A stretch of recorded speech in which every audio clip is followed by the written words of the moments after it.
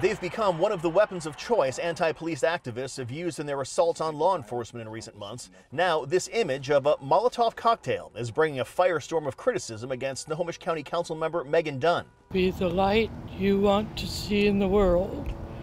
Okay. The post on her personal Facebook page shows a Molotov cocktail with the saying, Be the light you want to see in the world. Dunn called the image a good reminder. No, that's not cool. I don't like that. Folks we talked to today called it offensive. I think it's absolutely not appropriate. Dunn deleted the post, but not before members of the Everett Police Union saw it and demanded an apology, stating the post promotes violence and murder against law enforcement.